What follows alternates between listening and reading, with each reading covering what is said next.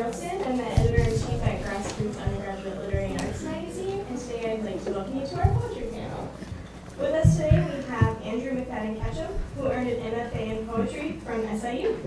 He's the editor for three anthologies, including Apocalypse Now and the online poemoftheweek.org. He is now on a U.S. tour for his first book of poetry, Ghost Gear. Please welcome Andrew McFadyen-Ketchum. Next, we welcome TJ Jarrett, whose newest book, Zion, won the Crab Orchard Series in Poetry Reading Competition and was published this year by Southern Illinois Press. She is a senior editor for Tupelo Quarterly and has won numerous scholarships for her work. Everyone, please welcome TJ Jarrett. We also have with us today Steven D. Schroeder, who won the Devil's Kitchen Reading Award for Poetry. He is also the author of Torched Verse Ends, another collection of poems. You can also find his writing in New England Review, Crab Orchard Review, and the Journal, to name a few. He joins us today from St. Louis, where he's a professional resume writer. Let's welcome Steven D. And we also welcome Dan Albergotti. His collection of poems, Millennial Teeth, won the Crab Orchard Series in Poetry Open Competition and was published by SIU Press this year. His works have also been published in the Cincinnati Review, Shenandoah, the Southern Review, the Virginian Quarterly, and other journals. As an editor, Dan has worked on the Greensboro Review and the online journal Waccamaw. He teaches creative writing at Coastal Carolina University. Ladies and gentlemen, Dan Albergotti. I want to start with the same question that Sarah started out with yesterday for fiction writers, which is why did you choose poetry? And can you think of a specific moment that you look back on and think that's when I decided I wanted to write? Um, Let me grab- we're gonna do this one. start with that. Go with Dan. Um, wow. Uh, I don't know that. I don't know that anyone chooses poetry. I mean, it's it's kind of a cliche, and it's you know Zenish. Right? Uh, uh, Janet Burroway yesterday was making fun of the, the Zen thing a little bit, but poetry really does. I mean, choose you. Um, and, and I cannot uh, pinpoint a time when I when I kind of was taken over by poetry. I know that being made to read poems in school did make a difference because I went home and homework no longer felt like homework when I was reading Coleridge, you know, and then Keats. Um, and it just instantly, to me, felt like something that transcended all that. That it wasn't just writing; it felt almost like world making. And uh, I don't know. I think uh, my favorite definition of the writer has always been the novelist Saul Bellow's, um, where he said that a writer is a reader moved to emulation. And so, in reading those romantic poets, it was just like this sort of um, healthy envy. I wish I could do that. Um, my mother has a story about when I was seven years old and I read The Tiger for the first time. I would take my reading book and I would put it under my pillow and I would sleep on it and then I'd wake up on it, read it again, and then I'd take it to school and then I'd put it under my pillow every night. Um, in this very weird ritualistic OCD thing that made no sense to her. Um, my father's a minister, so I think there's a certain about certain thing about the cadence of words and how they. I have always believed they mean something, um, but I absolutely I fought it every step of the way. Um, I work in IT, which is the farthest thing from words one would think you would get there, and I'm still writing. Um, and so it's not something you really shake. I think you find the love of something and you just kind of keep doing it, even though it doesn't quite make sense to you or anyone around you. Um, yeah, I, I can't say that I woke up wanting to be a poet at all. I don't look at my bank account and think I want to be a poet ever. Um, but yeah, it's something that you just learn to love and it, it takes you and you feel like that's the only way you can communicate certain things. So. Yeah, I would, I would ditto all of that. Um, I, in fact, have tried not to be a poet numerous times, and it always uh, it, it brings me back in, kind of like the mob or something, you know. Um, and but I, I've been uh, pretty much a writer since I knew what uh, how to write words and liked to read stories. And I hated poetry as a kid. I'm talking like seven, eight, nine years old. Um, and I wrote lots of fiction right off the bat. Uh, it was very bizarre. Um, but then uh, my first job was at this uh, little produce. Uh, it's called the Produce Place. It's like a little health uh, food store, and it was mostly produce, as you might imagine. And and my job, I was the cleanup boy. I was 14 years old. I thought I was 13, but my parents informed me it was illegal for me to work at 13, which I figured, well, I was probably still working at 13. But I was 14, so the whole I've been writing poems for 20 years thing, I have to wait a few months for that. But um, I was 14 years old. It was my first job, and I was I, I would go after school and sweep up and mop and clean things, and of course. Didn't do a very good job because it was I was getting paid three fifteen an hour and, and uh, cleaning the floor uh, at 14 years old isn't much fun. So they had to teach me like, oh, you've got to actually sweep up under things and, you know, be detailed. And so one day I'm finally doing what I'm supposed to do, and I'm sweeping up under this corn bin, and this piece of corn wobbles out. It's you know half rotten, and into my mind pops the line, "What if I were this piece of corn?"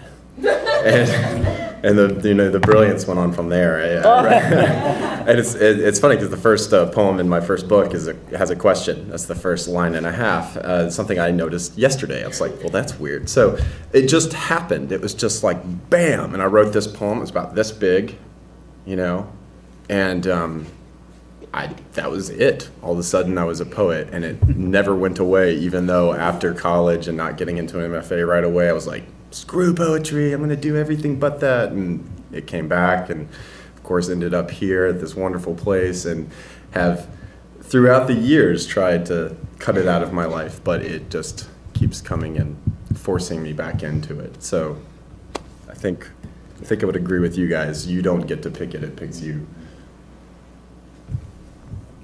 Yeah, I'm not uh, sure even now if I want to be a poet. Um, Exactly. I, uh, I, I would much rather be a novelist. And uh, so I write stories, or I try to write stories, and damn things just keep turning back into poems. Um, because, uh, partially because that's what I have the attention span for. They get shorter and shorter and shorter. Um, and and uh, partially just because uh, part of writing for me is wanting to make the language as tight and compressed and torqued as possible, and poetry is the way to do that. Um, but while there's no moment where I wanted to be a poet, I certainly always loved writing. Um, and one of the first things I can remember uh, when I was five or six, I think maybe in first grade, kindergarten, something like that, um, they asked, they had us write something about what do you want to be when you grow up, and I didn't say I wanted to be a writer, but I wrote this extended story about how I was going to be a policeman, but my only job was going to be uh, to give cheetahs speeding tickets for running too fast. so that was like everybody thought that was so creative, and that was like the first moment that I had this sort of idea that I could entertain people with my writing. Could I- It's I'm asking for a second term on the first question, but if I, if I'd been really thinking, I would have also ended it with, with the idea of not choosing poetry, but it, it chooses you, with uh, reciting a very, very brief poem found by Jack Gilbert, um, my favorite poet. This is, the, this is the first poem in his first book. It's six lines. It's called In Dispraise of Poetry. When the king of Siam disliked a courtier, he gave him a beautiful white elephant. The miracle beast deserved such ritual that to care for him properly meant ruin. Yet to care for him improperly was worse. It appears the gift could not be refused. We spoke a little bit yesterday about TJ's favorite rejection. And so I'd like to ask you today about the difference between a good rejection and a bad rejection, and if you have any favorites or least favorites. There are no good rejections. Um, I'm not sure who was here for that. My favorite rejection actually was from Dan. Um, it was my first um, rejection from poems that I'd sent out as an adult, and it was not a bad rejection. Um, a bad rejection is just says nothing. It's like sorry, it's not a fit. Now here's the difference. It's like now that I'm on the other side of the table. Um, Dan's rejection was great because it was very specific. It's like, I like this piece, I think it's working, it's not a fit for what we're doing right now. And the truth is, if I, if I or Dan or any editor bothers to write down like a specific piece that I'm reading, and I took the time, it is not a bad piece. That's a very good rejection because I'm responding to you. I cannot describe how little time I have on the editorial desk. Um, I read approximately every three months, because we're quarterly, obviously it's in the name. Um, I read about every month personally somewhere between 700 and 1,000 poems.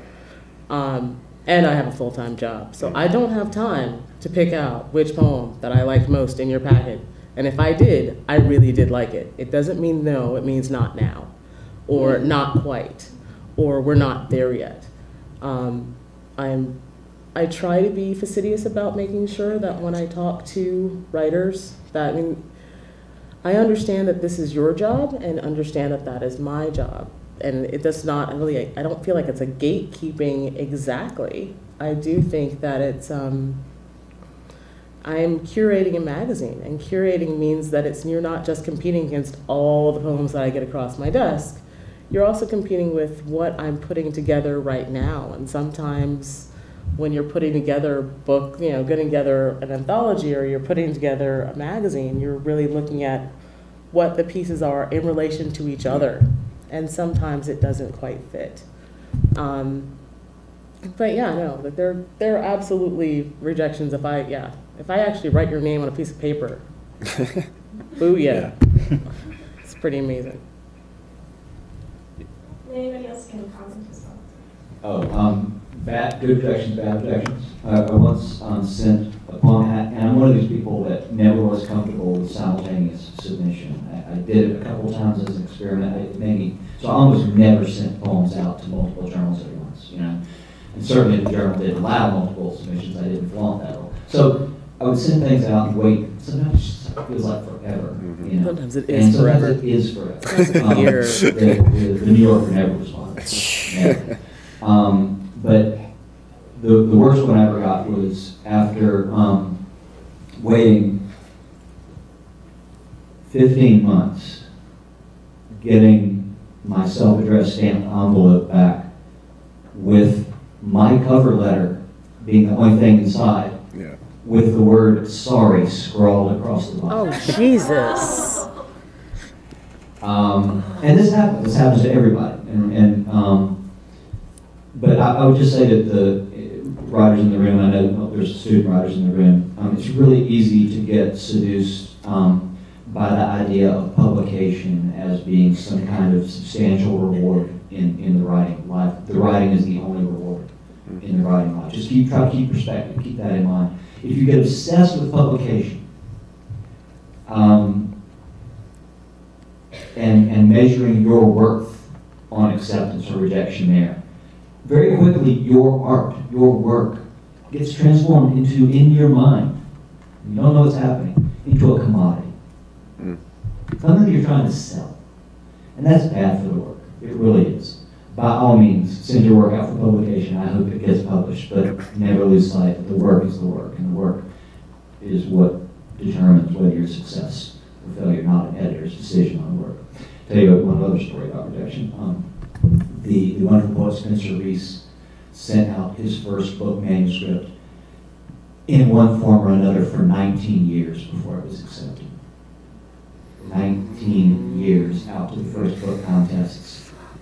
And when it won, it won the Bakeless Prize from the Breadloaf Writers Conference, was published by, what, that would be, uh, that would be Harvard? Um, not, um, It's like Graywolf, is it? Was it it Grey was not Graywolf, but it, anyway, it was a, a big commercial. Houghton Mifflin, Oh, sorry, Houghton yeah. Mifflin. um, And uh, selected by um, Louise Glück, who wrote an introduction for it. And so that's, you know, loser, loser, loser, loser, loser, loser, loser, loser, loser, loser, loser, loser, loser, loser, loser, loser, loser, loser. You're starting to mess with Winner my of the self-esteem. Bakeless Prize, published by Houghton Mifflin with an introduction by Louise Glück. So I, I always tell that story as testimony to the idea that um, persistence in the writing life is omnipotent. Okay, I say one more thing? I, I'm sorry, we're chatting. Um, I also would like to warn people that having something published is not the end all be all of the piece. I read lots of crappy things that get published every day. Like Paris Hilton has a book, Jesus. Um, I don't even know if she can read. I was surprised. Um, so I really think when you're sitting down at the page, the best thing for you is to do what's right by the poem. And if you do what's right by the poem and your aesthetic, it will follow. And I know it sounds like some kind of platitude, but you kind of have to have your eye on that due north of what you want your work to be.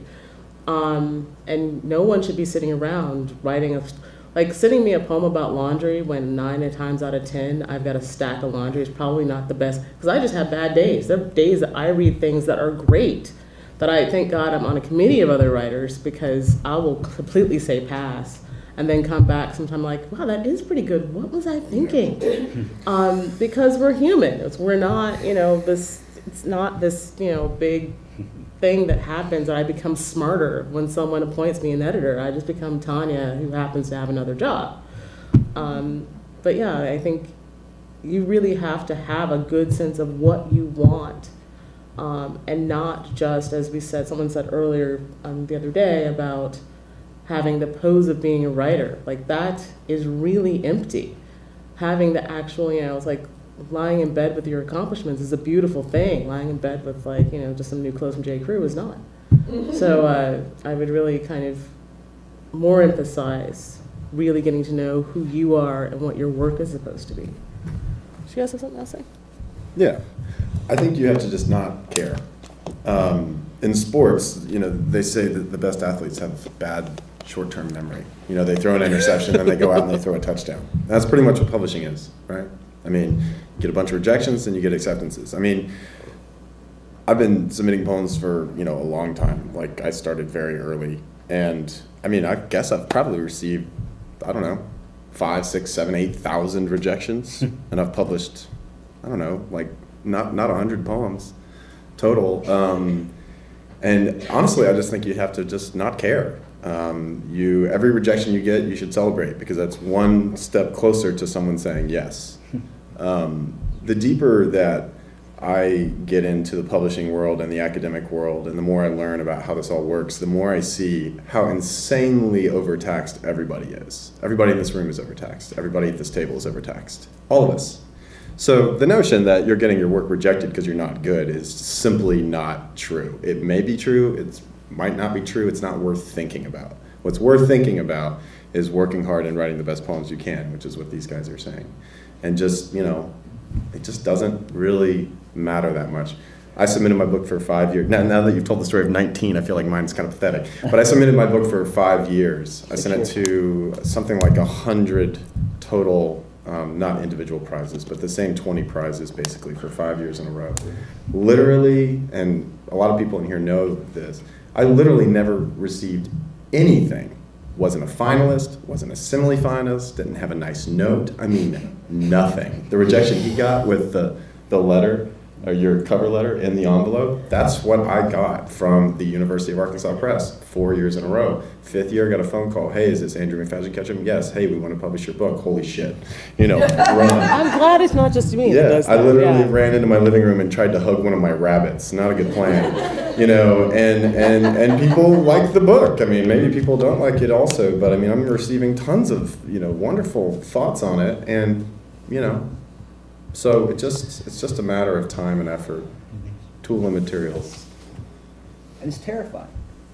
It's Yeah, terrifying it's too. terrifying. Like it's Terrifying. yeah. And I would just say, keep in mind that the rejection never goes away. I mean, everybody up here is relatively successful as a poet, and we probably get rejected 90% of the time we send anything. Um, and so that you, you have to measure your success some other way. Um, and, and the one thing I would say is, as, as it's sort of been established, a good rejection is when someone says something about the poems and, and, and maybe why it was close, why they liked it, or why why it didn't quite make it. And you can take that and, and at least think about it. Maybe it'll help the poem, and maybe you don't have to actually take the advice. Um, and sometimes, though, I, I did want to uh, mention uh, people will, will send a personalized rejection. It's actually uh, about bad rejection uh, in a way. I think they think they're being helpful. There was one I got from a poet I've met who's a fairly successful poet, and I sent him work, and he sent back a note that said, um, "There's a fine line between poetry and manic-free association. And I think your Are poetry you falls on the wrong side of the line for me." Um, and so I think he thought he was being constructive and helpful about my poems, and in all honesty, fuck him. One of my students got a rejection that said all these nice things, and then it said, however, it lacks inner necessity. I emailed him and I said, I don't want to have a feud about this. Define inner necessity for me. I would love to see what that actually is. So, yeah, anything like that, I mean, again, short term memory, it just doesn't matter. It just doesn't matter.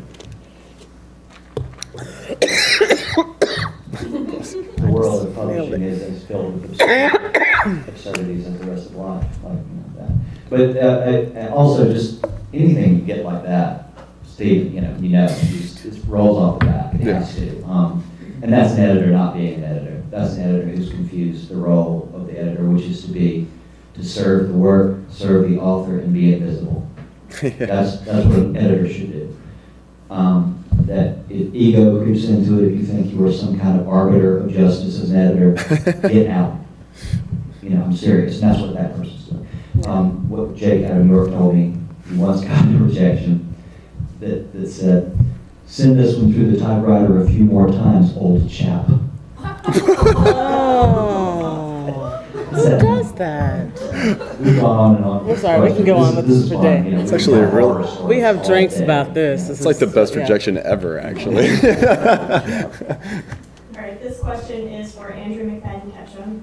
You've been on tour for Ghost Gear for a few months now.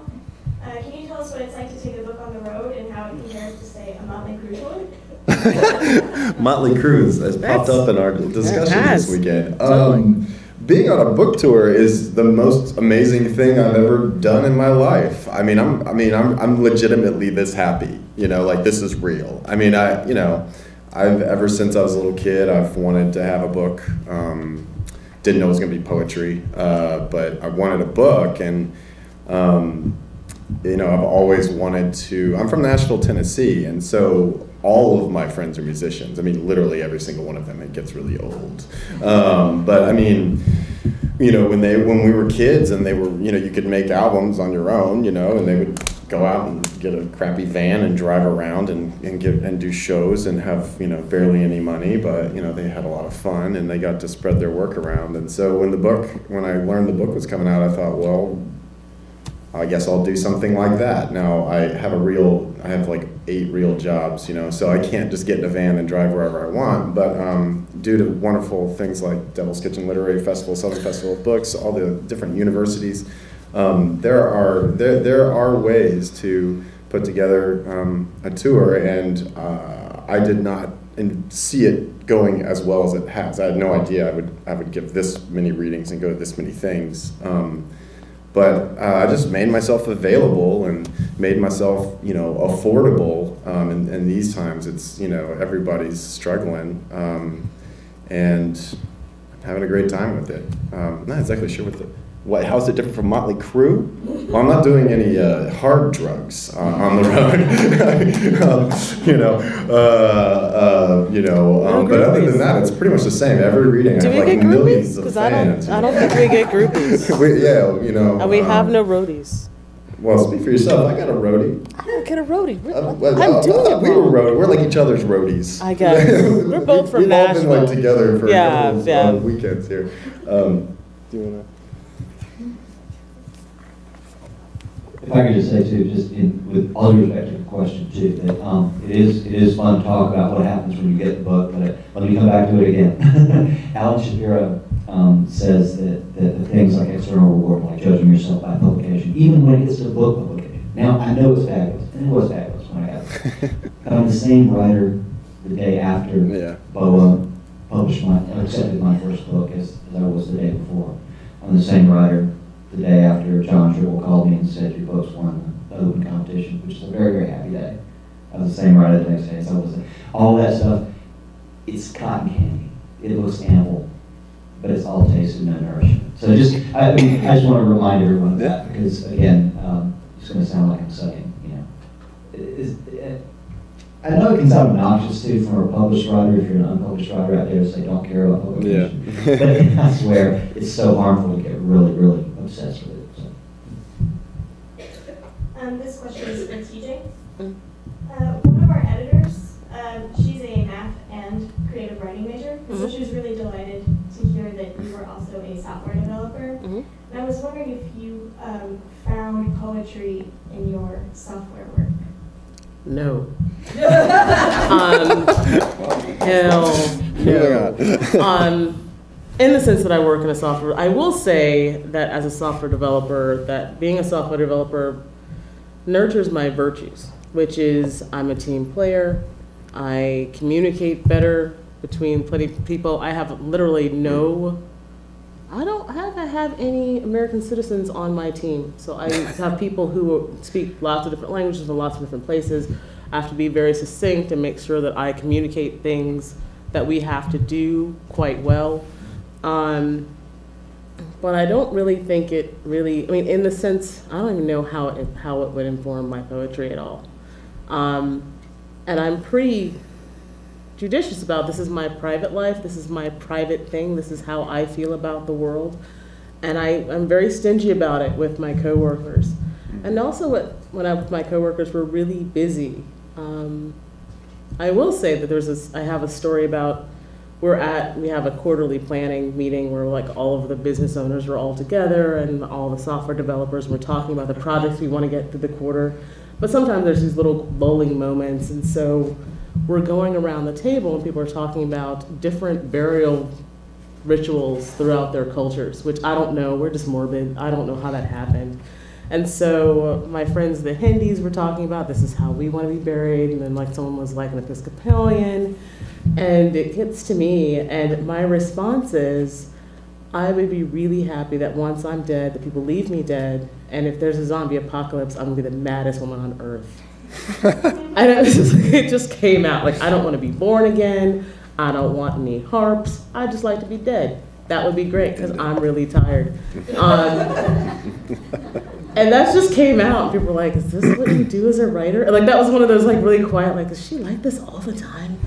Um, I think I just had this moment where I forgot that I was like it's not supposed to be whatever. But um, yeah, I mean, I think there's something. There's, there's also another virtue in having something outside the writing. Like it cannot be your entire life. You are going to go. It will drive you crazy. Um, I appreciate having something to do from nine to whenever I finish working every day. Absolutely appreciate it. It's not that I don't do my reading. It's not that I don't do the work. It's not that I don't sit down and write. But there's got to be something outside of that because you are going to go nuts otherwise.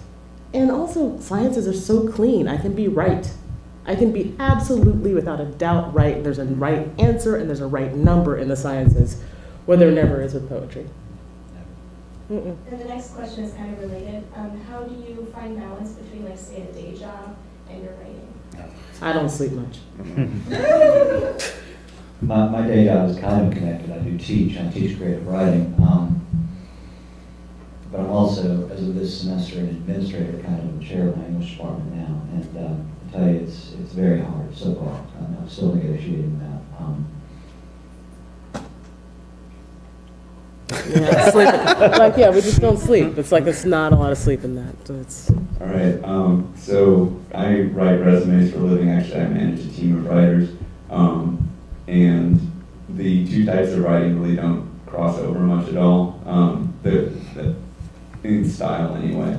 Um, occasionally, I'll sneak internal rhyme into a resume, and I think that's great. um, and, a lot of themes from the resumes cross over into the poetry, so it's, it's actually kind of helpful in that way, just sort of giving me a kind of material.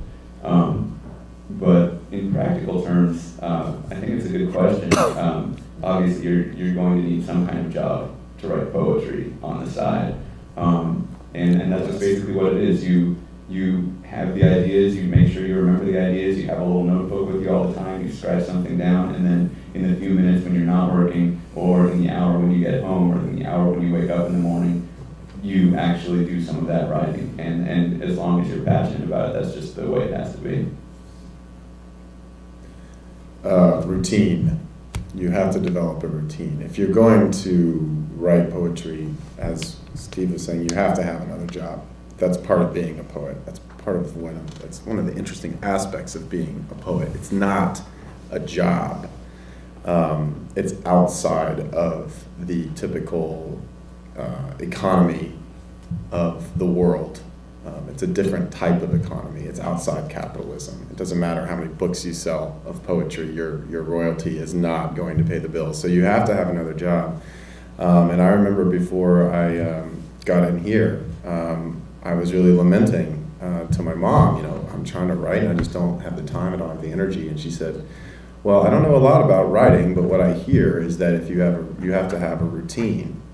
And she said, "Can you set up a routine?" And I said, "Well, well, I, you know, I don't get, I don't have to work until a certain time. I guess if I got up at 6 a.m. and wrote until 10, I'd have four hours." And I literally did that until about two years ago. I'm getting older. I need more sleep now. Um, so I go to bed, um, you know, a little earlier and sleep a little later. Um, but like my, I have four or five paying jobs, maybe even six. I can't remember at this point. Um, so to balance all of that stuff, and then I have several non-paying jobs beyond being a poet as an editor. Um, I, a lot of the work I do is there's no money coming in from that. It's because I believe in in poetry. I don't care about money um, as long as I can pay the bills and do my wife uh, fairly well. I'm happy with that. Um, but yeah, I mean, honestly, if you're not writing because you don't have time, it's because you're not making time for writing. There is time. There will be times when there isn't time, but overall there is time and you should be getting to work. That's how I feel about it.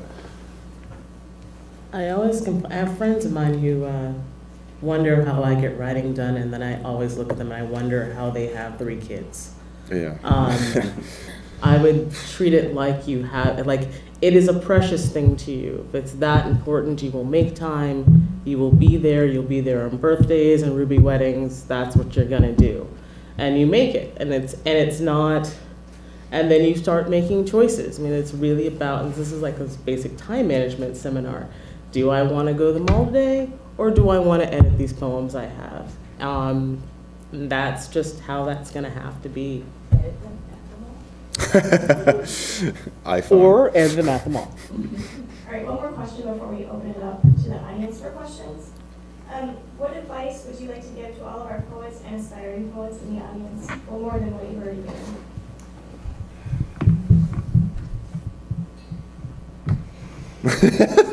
you can only talk for two minutes. I know. I- Right? I- It's so, you Good know, question. I, I know I, I, I've said it too much, um, about not getting obsessed with, with uh, external endorsement. It's just you, it's just you.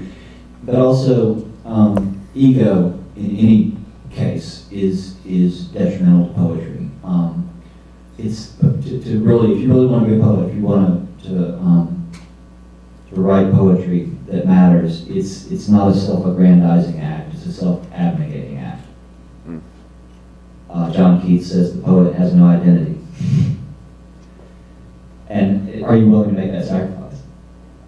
And also, um, you can't, you can't be a writer without being a reader, and you've got to be just an omnivorous reader. You've got to be reading poetry all over the place. Poetry outside of our tradition, poetry inside our tradition, poetry published last week, published, poetry published 400 years ago. It's, and I hear, hear young writers sometimes saying, I don't want my work influenced by readings. That's bullshit. Sorry. Yeah. If if you think that for a second, bullshit, read, sorry. Um, and I would actually expand on Dan. I would say that being a poet is, is writing poetry is a self-abnegating act, absolutely. I would also say, yes, read, read, read, but read the newspaper. Read what's Yeah. going on with the world. Be a part of the world. Be a world citizen. Talk to other people outside of your own cocoon. Like, get out of your comfort zone. There's so many things that about being a writer, which is about being a better person, which I find some writers who miss that class. But, um, but being a better person and being a broader person and being more open to experiences and to move humbly on the earth among people. Um, it's very hard to write about a character when you've not put yourself aside and really interrogated what it is to be that character. You're not doing it humbly. And I read lots of poems where people are, I think Strom Thurmond is an asshole. Well, yeah, okay, maybe empirically he is kind of an asshole. But I think we all know that. If we're going to write a poem about Strom Thurmond, we're going to talk about him at night, taking off his shoes every night. And even Strom Thurmond feels shame sometimes. Um, that is the compelling poem and is not about what everybody else thinks. It's about getting into the character, really thinking about the character. Um, and if it comes to you, it means not doing like you everyone inside has their internal press release organization. Um, that means putting that aside and really talking about truths about yourself which are hard. Wow. and it's true and it's the stuff that you can only do at night because you may break into tears at your desk. Um, it's real honesty. I think those things and that's the kind of thing that is outside of poetry really that's about just being a better person and bringing that kind of large-heartedness into the work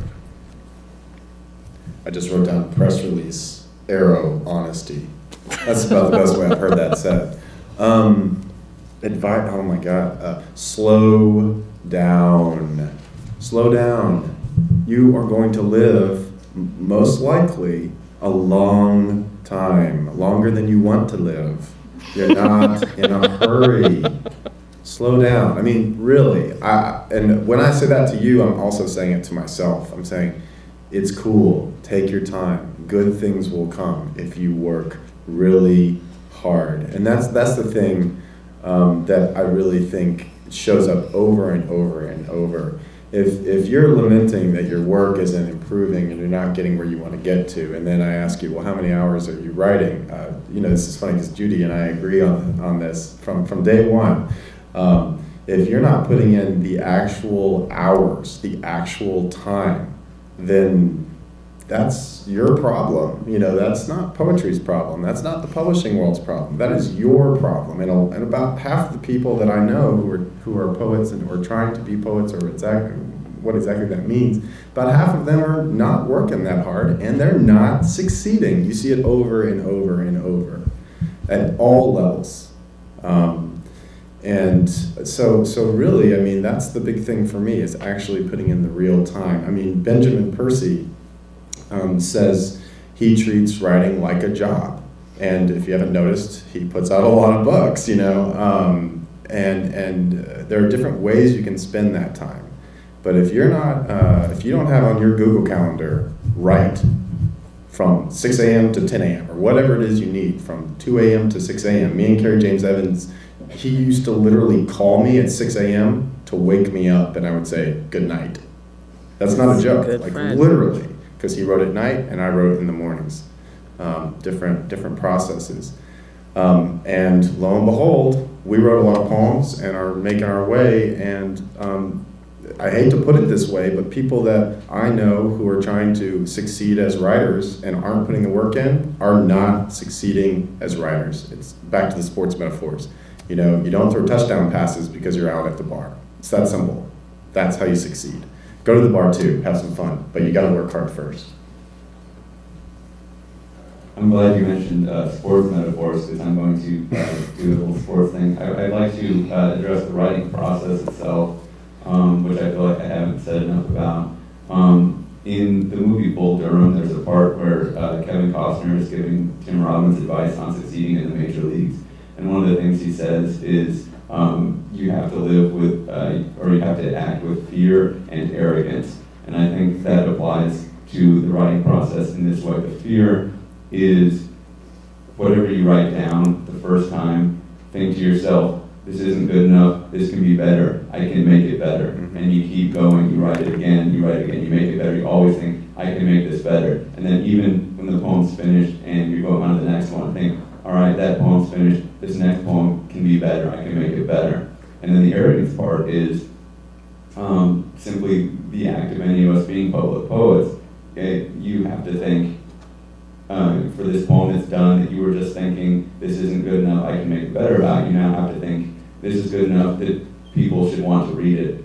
It's good enough for people to enjoy or to take something from, Yeah. and I want to share it with people. And so you have to do both of those things, and, and for, I, I would imagine, it- it certainly is true for me, I imagine it's true for most poets, there is a sort of uh, bipolar thing where you hate your poems, you love your poems, you hate your poems, you love your poems. Yeah. And, uh, and so just uh, be willing, willing and ready to do that. Um, and I would also say, uh, if you do get, uh, if you do publish a book, uh, you can, you can enjoy that. It's, it's, it's great. So don't worry too much if you do happen to get your work out in a book. It's awesome. I have one last would say thing. one. One last thing, this is what my mother told me several months ago. Um, and I'm gonna say it just like she said it to me.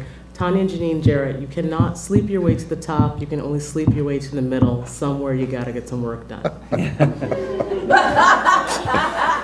Wow. And just to follow up on uh, Stephen's great uh, Bull Durham reference, um, it reminds me, I- I've already cited uh, a lecture that Alan Shapiro once gave once a day, but he also said in that lecture that um, to, to succeed as a poet, you need equal parts arrogance and humility.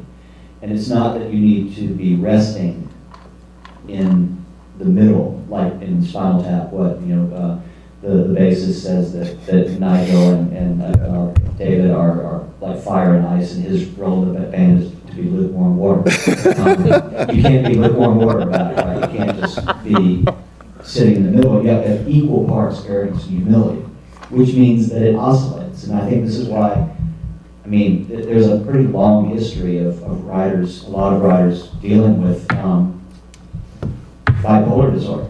Um, by all means, don't let it take over your life in that way.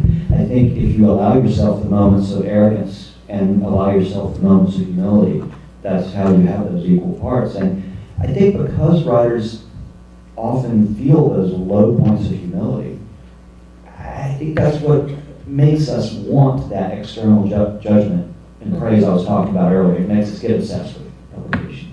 Understand that your low points, that is natural.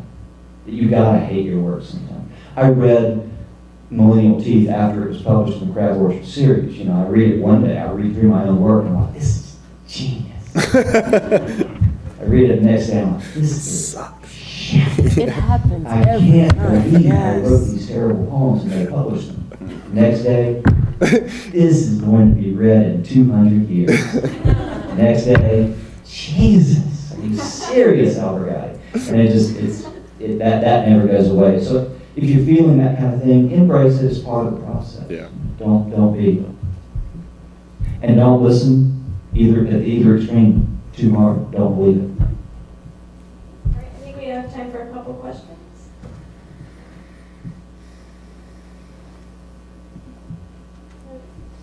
Can you talk about uh, mentorship in poetry? Like, who have been your poetry mentors, either actual people or people that you've read that have confirmed, yes, this is what I should be doing?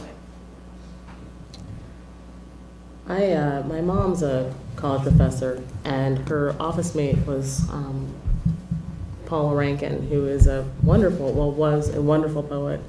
Um, and I think at the time had something like four or five books to her name. Um, I was 12 years old, and I was writing a poem a day because I don't know, that's what 12 year olds do, I guess. I don't know. And uh, so she ignored it for some time, and then she realized that I was going to be doing this, so she might as well just, just do a quality check. And so she reads through my journal and she sits there she's quiet and she's like, well, this is, this is shit. Um, if you're gonna do this every day and you insist on doing this every day, let's have some, let's have some boundaries around it. So she actually, I would get like an assignment online a week and I would get an assignment on meter a week and I would get, you know, et cetera, et cetera, et cetera. Um, I don't know if she knew at the time that I would be a poet. She died when she was 45, when I was 20, it's like 22. Um, but I cannot tell you how invaluable it was that she loved me and believed in me, and she wanted me. If I was going to write, if I were going to write poetry, I would write it as if I were cognizant of how poetry works, and I needed to know what poetry did.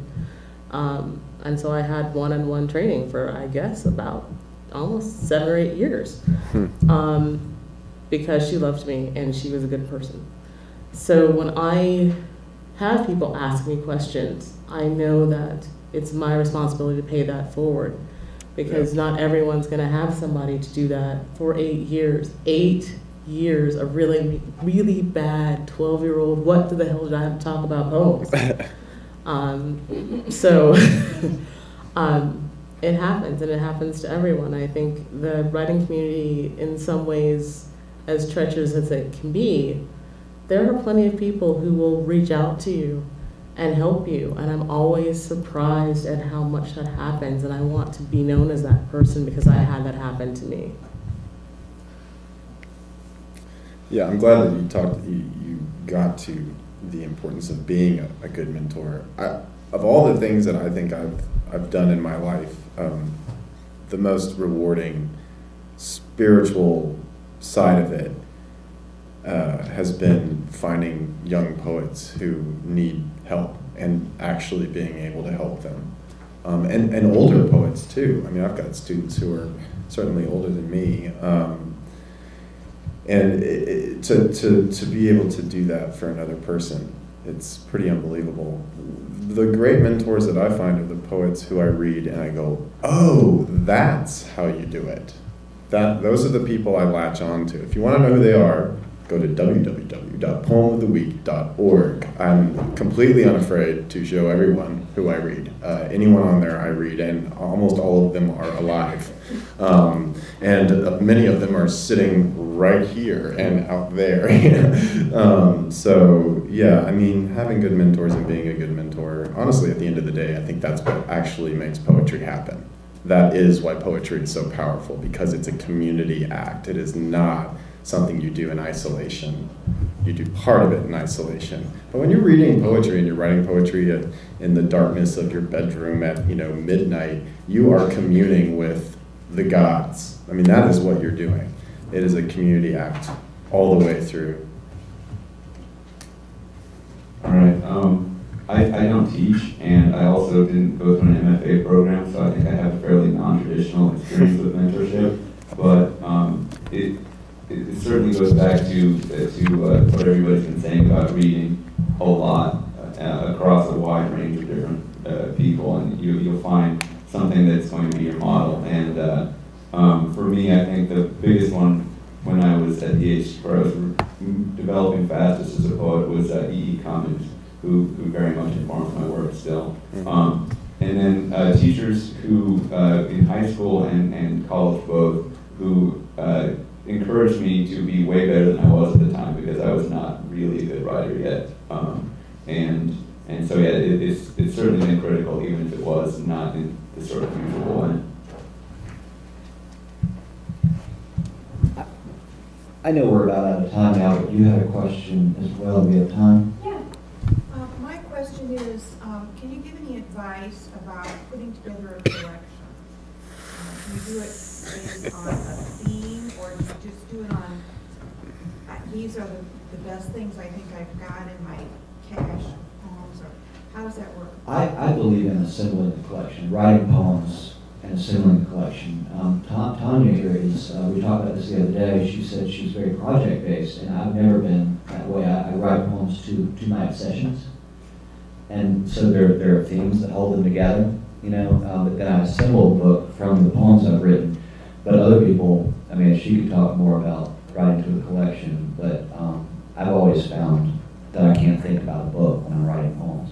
And I do think there's a potential problem. I'm, I'm going to say this, this is not true of Tommy's work, but I think one, one there is a danger in, in conceiving of the book when you're writing poems. And that is that you conceive of a big arc, and the temptation is to allow yourself to write poems that fill in spaces. That, so you allow yourself to write mediocre poems that, that serve a narrative function. In other words, and every poem, I think, needs to be there on its own. Um, so I'm not, there's not a bit of filler in, in TJ's work, but I think, I know people who do that. It Yeah. drives me crazy. Yep. Yeah. Um, I will say, yes, I am a project poet. Um, however, for every poem that you see in that book, there are probably two poems I've thrown out of that book. Um, you also have to, if you say, today I'm going to write a book about, I don't know, red ponies, um, there is a point where you have the project and then the project goes away because you're wrong. And you have to say that you're wrong. Like, hey, this is not working. What, how about I write some more poems and maybe I can take these poems, what are these poems really doing? Because in my, like my forward mind, my first mind, I'm like, I'm gonna write a book about blah, blah, blah. I can promise you, I never planned on writing Zion. Zion was not a plan. Like I thought I was gonna write something else, something about Mississippi. Um, the characters that popped up and the conversations that happened had nothing to do with what I planned on doing. And you have to be open to yourself and let, let you like this is what the spirit wants to do and this is not what the project wants. Um, things that I learned from IT, sometimes it just does like the project you want is not gonna happen and you need to let it go. That's a super big question that I think I ask myself every day. So how do you put this book together? Oh, like you don't really know. Um, I think if you live with um, some poems for long enough, they start to speak to you. They start to tell you where they need to be. I rearranged Ghost Gear quite a bit, but um, after about two years of doing that, I figured out that it needed to be chronological, more or less. It was a Bildungsroman. Um, I realized that, which was a little bit hard to come to grips with for a number of reasons. Um, you know, in a review that someone wrote of it, they called it a memoir, and I almost choked. I was like, "Well, I made up a lot of this, so you know, you know, creative nonfiction. Uh, the the essential truths are true, and then from there, you you have some license, quite a bit of license." Um, but then the, the my second book, and it's not a book yet. It's I haven't submitted it or anything, but it's it's going to be sort of ready this winter. Um, it's it's a very specific book. It's about a specific person um, and something that went down with with her. And uh, but I didn't think about the book in the sense of like kind of what Dan is saying. Like I didn't worry about what's the story, where is it going. I just said, well, I'm going to write about this person and sort of in this unit. I'm going to stay in this universe. And the book has slowly but surely written itself. Um, I don't know if you've experienced this, but when you write a poem or a short story, once the poem and short story starts taking over, then you know you're doing something right. When you're when you have all this control and you're forcing things on the poem or the story, it feels flat, it feels artificial, it doesn't feel like a like a, a real thing in the world. When it starts to feel that way, you know you're on the right track. And I, I think that probably most of us would say that at some point in the putting together of a book, you start it starts to sort of put itself together a little bit more, and you just have to trust it. And then, of course, go back into that more analytical side that says, okay, well, let's examine each poem and see exactly how it works, and go back and forth between sort of the analytical and the spiritual. Maybe is a way to think about it. All right, yeah, the, uh, the one little thing I would add is, uh, for me, whichever way you approach, uh, putting, putting the book together, I think the thing you should do is, um, start with more than enough and then pare down rather than starting with not enough and trying to write into that. Um, in, in both of my books, and it will surely be the case in my third book whenever that happens, um, I, I eliminated many poems were perfectly good poems because they didn't fit just right in the book. So I had way too much material, but by the time I cut it down to the best book it could be, it was the right amount at that point. So it, I wasn't trying to force something in there just because I needed one more poem. All right, thank you all very much for coming, and let's give a round of applause for our I do.